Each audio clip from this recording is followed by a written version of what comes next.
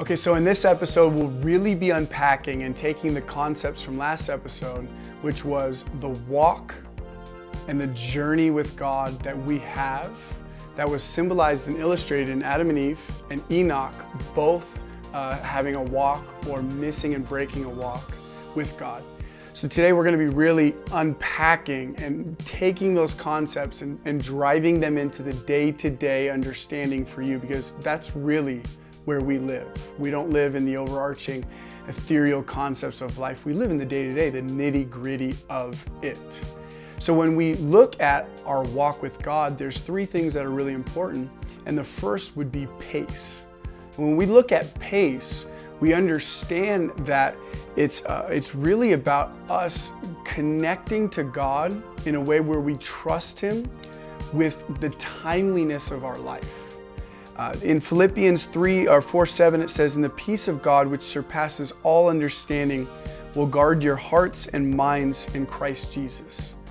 And there's a reality for us that our life and the anxiety we have about where we're at really needs to be laid down on the altar and surrendered to God because it does act as a disruptor and a disconnect between us and God, especially when we're talking about walking with God. Because think about it, if you're walking with God and you get unsettled or impatient about the pace or where He's got you in the journey, you're inclined to separate from Him in the walk because the pace is too slow. It's going in a direction you're not comfortable with or, or such, and, and you'll choose to take a different speed and a different timing than He has intended. And some people really connect this to some kind of concept of, well, this is why I haven't been blessed yet and such. I'm not really that concerned about trying to understand how to uh, relate to God in a way that I can get more or less blessing. I feel like the blessing comes as you just choose to stay connected to God no matter what the pace looks like, waiting upon the Lord, and truly remaining with Him no matter what the pace is, and trusting Him with the outcome.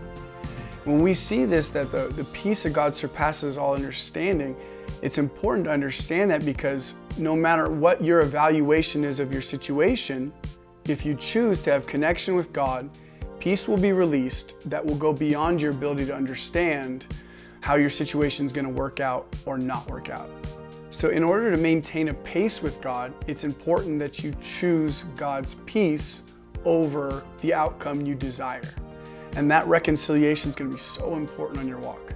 The next, next aspect in your walk with God that's important to really unpack so you don't disconnect is the direction you're going.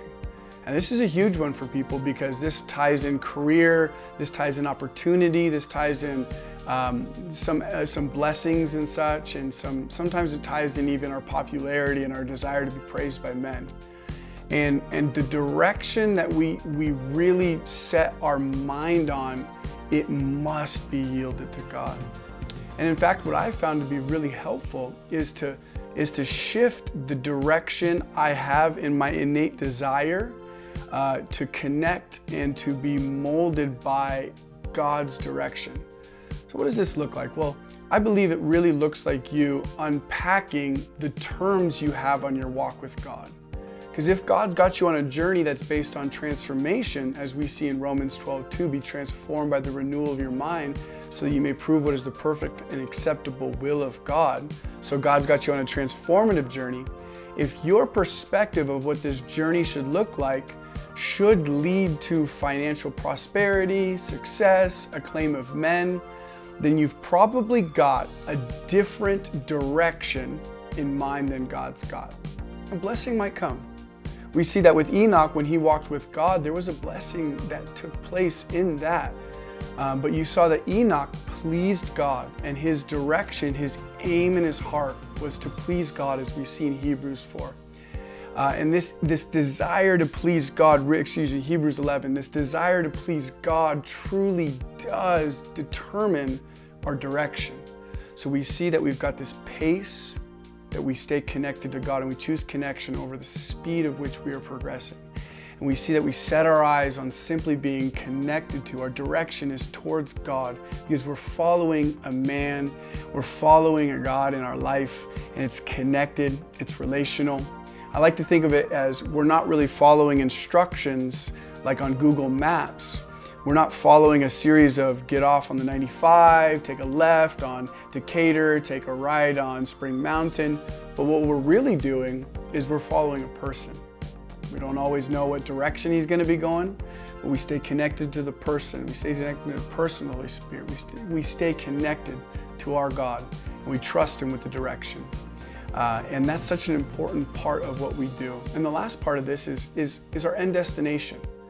And I find this to be a very interesting concept for us. The Bible talks about godliness with contentment is great gain. I've found that in my, my own journey and in partnership with others' journey that there's an unsettledness that comes from having a different goal than the one that God's intended for us.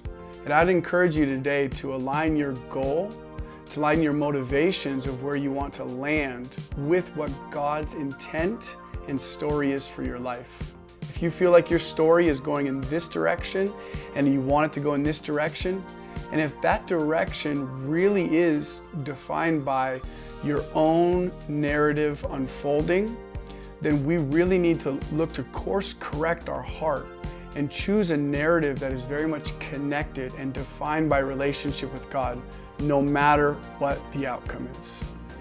And that's such an important part of our journey. And I encourage you today to really align your heart in pace, in direction, and in your end destination, and choosing connection above all else when it comes to your journey and walk with God.